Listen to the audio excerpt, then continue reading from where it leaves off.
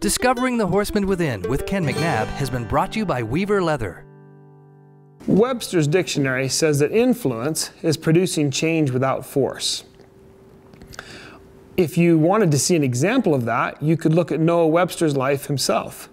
Noah Webster changed the way we speak the English language in America without force. He went around and he collected words and he put them together and he wrote down the definitions of them and he replaced all of the known dictionaries at that time by going door to door, store to store, on foot, selling Noah Webster's dictionary.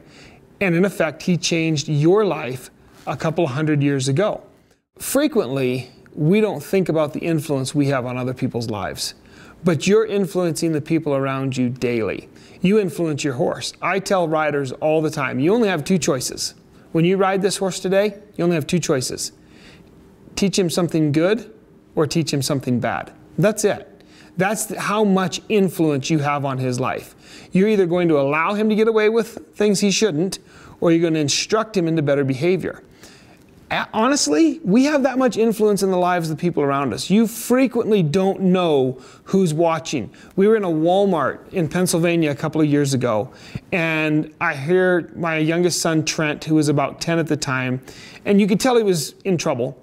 And so I walk around the corner and he's throwing shoes straight up in the air as high as he can throw them.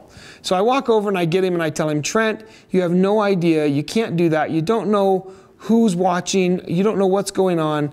Be responsible for your actions. Don't, don't act like that. So we put everything away, got everything cleaned up, and we walked two aisles down, and this lady comes running up to us and she said, Oh my word, I just had to come say hi. I heard your voices, heard you guys talking. I watch your show all the time, and I really just had to stop and say hi. So we had a great conversation, and she walked away, and I was able to say, Trent, do you see what I'm talking about?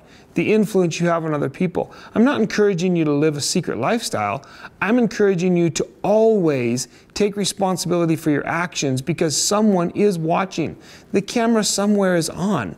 And you are encouraging people to either increase their level of character or decrease it. As they watch you, they're either deciding, man, I'm going to do this because it's going to make me a better person, or they're saying, well, he did that, so I can do it too. And if it's all right for him, it's all right for me. If it's all right for him to, to speed or it's all right for him to do something wrong, then it must be okay for me too. We have a lot of influence on the lives around us. Be careful of what it is.